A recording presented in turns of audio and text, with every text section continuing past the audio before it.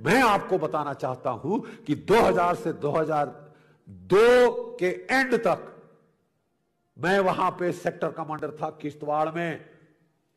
और मेरे सामने मैंने वहाँ जाके कैंपेन शुरू किया। मैंने कहा, मेरे प्यादा नहीं, मेरे को चाहिए। किसी प्यादे की लाश नहीं चाहिए। एक प्यादा मरता है, दस बेचारे बच्चे को वहाँ से कोई खड़ा करके ले आता है क्रिकेट के बहाने।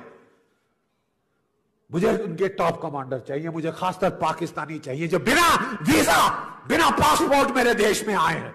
ये कोई रणडी रहा है ये कोई रणडी रहा है नहीं आ सकते तुम मेरे घर में बगैर पासपोर्ट बगैर वीज़ा आओ तो सालों तुमको पहुंचाएँगे, गाड़ के रखेंगे तेरे को।